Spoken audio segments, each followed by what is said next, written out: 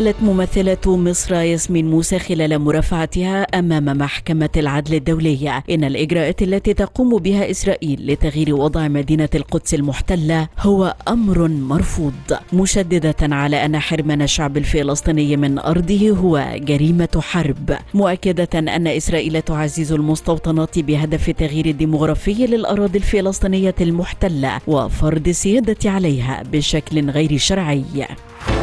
أعرب البرلمان العربي عن أسفه الشديد لاستخدام الولايات المتحدة حق الفيتو لمشروع القرار الذي يدعو إلى الوقف الفوري لإطلاق النار في قطاع غزة ومحيطها مضيفا أن ما يحدث داخل أروقة مجلس الأمن يؤكد أن المنظومة غير قادرة على ضبط الأمن والاستقرار الدوليين داعيا إلى ضرورة إصلاح هذه المنظومة حتى تستطيع القيام بالدور المنوط بها.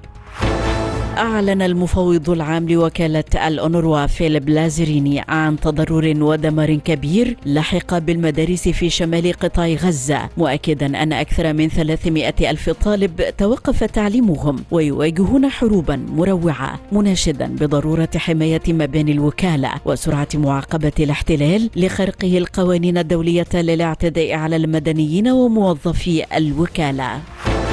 أعلنت وزارة الصحة الفلسطينية ارتفاع حصيلة القصف الإسرائيلي على القطاع إلى 29313 شهيدا و 69333 مصابا. منذ بدء العدوان الإسرائيلي في السابع من أكتوبر 2023 مشيرة إلى ارتكاب جيش الاحتلال 11 مجزرة في القطاع. راح ضحيتها 118 شهيدا و163 جريحا خلال الأربع والعشرين ساعة الماضية. أعلنت الرئاسة البلجيكية للاتحاد الأوروبي عن موافقة الأعضاء لتطبيق الحزمة الثالثة عشر من العقوبات ضد روسيا موضحة أنها ستكون أكبر حزمة حيث ستتضمن إدراج أكثر من 200 كيان وفرد في قائمة العقوبات.